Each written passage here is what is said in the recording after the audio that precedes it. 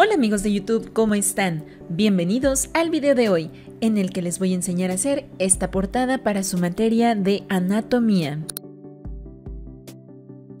Vamos a empezar bosquejando todo en nuestro cuaderno o en nuestra hoja con lápiz. Es muy importante este proceso. Recuerda que de esto va a depender el resultado que vas a tener en tu portada. Voy a empezar por aquí dibujando una parte de un pulmón.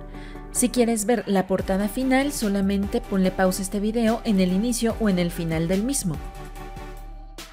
Abajo del pulmón dibujé un pedazo de hígado y en la parte de abajo un poquito de intestinitos. Para los intestinos lo único que hice fue formar bolitas como si fuera a hacer una nube y después solamente voy a marcar su contorno. Ahora, cruzando toda la hoja, voy a escribir la palabra de anatomía. Me gustaría que fuera con lettering, así es que primero lo voy a trazar. Y en esta esquina inferior voy a poner la mitad de un cráneo. Para eso voy a ponerle también su orejita como si la piel sí se pudiera ver, pero a la vez vamos a estar viendo el interior. Te repito que todos estos pasos los puedes hacer tú con más calma, simplemente es cosa de que copies la imagen que vas a encontrar al final del video. Voy a poner sus dientes. Si te llegas a equivocar, eso es lo importante de bosquejar, que vas a poder borrar los trazos que hiciste mal. Ahora, alrededor del pulmón vamos a empezar a poner las costillas. Para eso, haz una especie de boomerangs. No tienen que ser todos del mismo tamaño, lo importante de esto es que se vayan cerrando.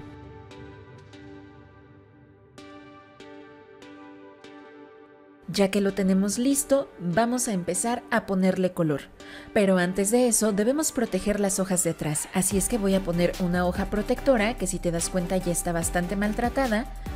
La centramos bien y ahora sí, como voy a utilizar marcadores, el color se puede pasar y ya nada más va a pintar esa hoja. Voy a utilizar un plumón Sharpie de punta fina y con él voy a empezar a marcar solamente el contorno de todas mis figuras o de todos mis dibujos. Aquí en el pulmón voy a poner primero las costillas, que es en teoría lo que queda más encima.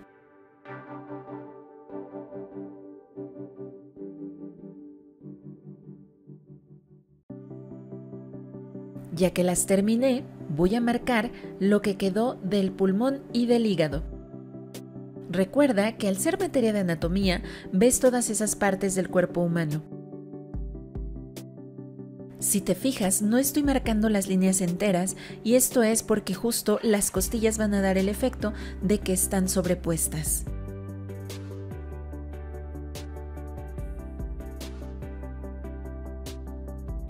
Ahora vamos a marcar el intestino, que como yo te decía, solamente vamos a marcar o a delinear el perímetro o la parte de afuera de todas las bolitas que hicimos.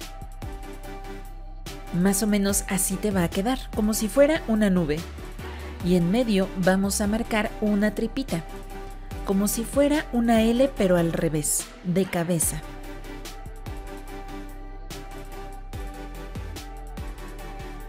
Ya la tenemos Ahora vamos a ponerle como más curvita a cada uno de los circulitos o de los medios círculos que hicimos.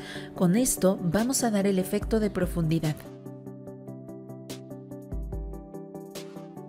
Ahora vamos a delinear todo el cráneo. Para esto sí, guíate en las líneas que trazaste previamente.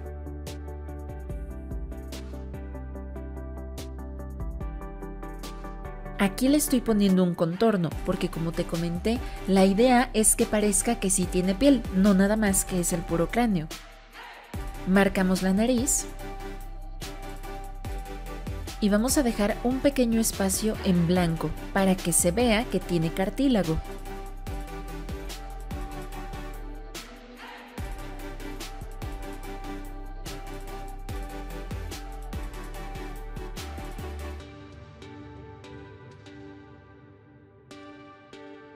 Es importante que durante este proceso te fijes cuáles son las partes que sí voy a marcar con negro y cuáles no. Ahora vamos a hacer el lettering. En este, ya sabes, tómate tu tiempo. Si no tienes plumones que se presten para hacer el lettering real, no te preocupes, puedes aplicar la técnica de falso lettering. Si no sabes cómo hacerlo, aquí en mi canal vas a poder encontrar videos con los que te puedes guiar.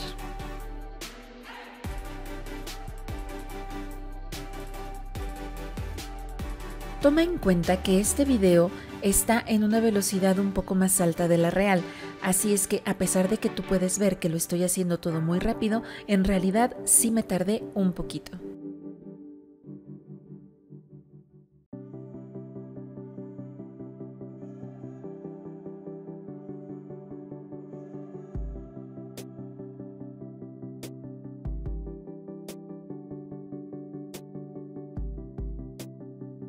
Ya que está listo, vamos a borrar todos los trazos que hicimos a lápiz.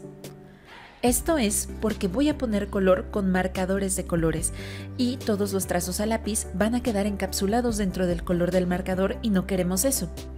Si te das cuenta, voy a borrar todos excepto los del cráneo porque hubieron algunos trazos que obviamente no remarqué con el marcador. Ahorita vas a ver por qué. Empezamos a colorear el pulmón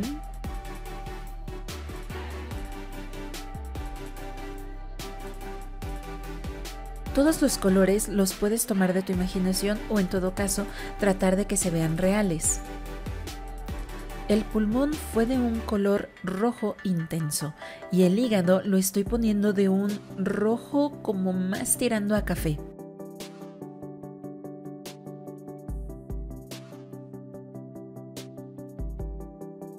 Voy a marcar por aquí unas líneas y ahora vamos a poner sombras. Para eso me estoy apoyando de un marcador color gris.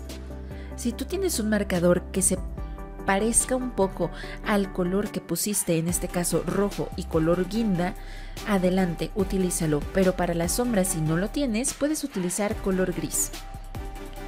Le voy a poner también sombra a todas las costillas. Esto les va a dar más efecto de realismo.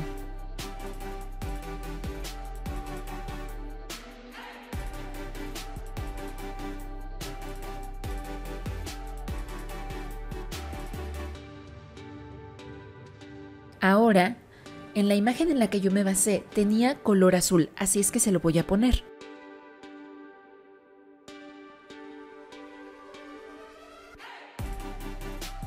También le voy a poner un poco de sombra con un azul más fuerte. Y llegó el momento de colorear el intestino. Para eso estoy utilizando un color rosita que es súper clarito se puede decir que es color palo de rosa o color melón. Y también le voy a poner sombras. Esto le va a agregar más realismo y va a dar el efecto de que pues tiene profundidad que le está pegando la luz y la sombra. Fíjate muy bien en qué partes le estoy poniendo este color. Con esto va a parecer que en realidad esa tripita está formada por bolitas. Y ahora con un color gris voy a empezar a marcar todos los trazos que me faltaron en el cráneo.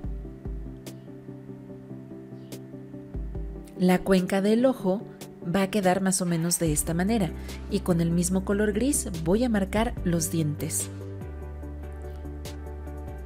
Ahora con un gris un poquito más oscuro vamos a ir marcando otra vez.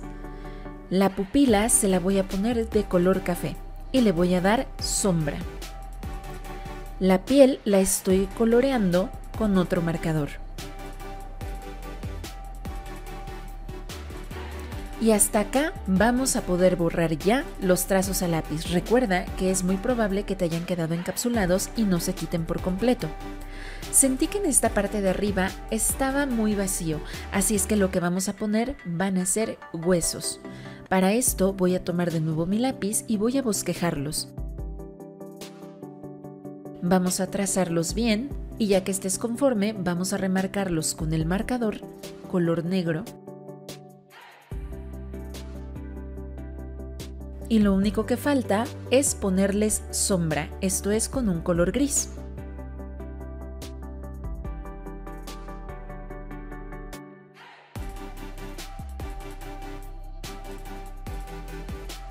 Ya que lo tenemos así, vamos a borrar el resto de los trazos que nos hacían falta.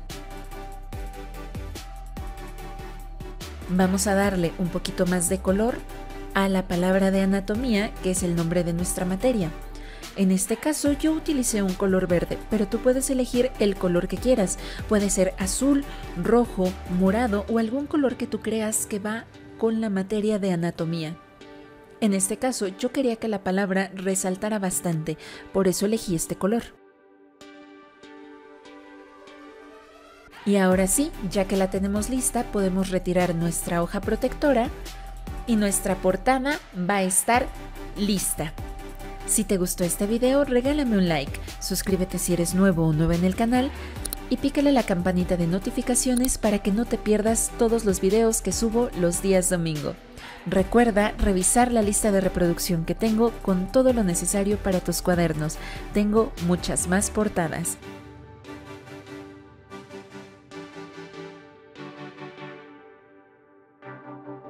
Yo soy Vania y nos vemos. ¡Chao!